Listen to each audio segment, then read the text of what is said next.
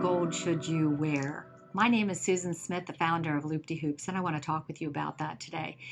I have a black sweater on, and so I chose white gold for this particular outfit. Now I have light brown, blondish hair, so a lot of times I'll wear yellow gold. But with different outfits that are more in tune with the cooler colors, like black or navy blue, I'll switch and go to a white gold look.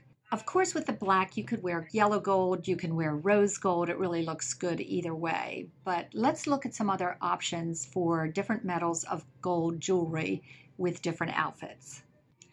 Yellow gold. That's what I would wear with this sweater. And this particular pair is diamond cut with lots of little sparkles coming off of it.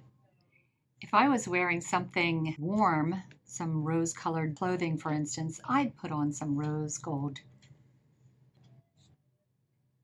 a new pair of earrings that we have are these pearls, and I love them.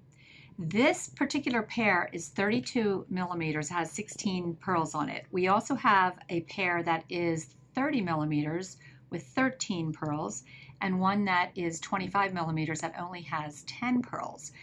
They're great prices, but look, check it out. Now I put this outfit on, and look how cute the white pearls look with this blouse and I want to show you one more. And when I put this blouse on in the morning, I thought, how cute would it be to have the pearl little dots of white? Okay, these are little dots of gray, but you know, I still think it looks cute.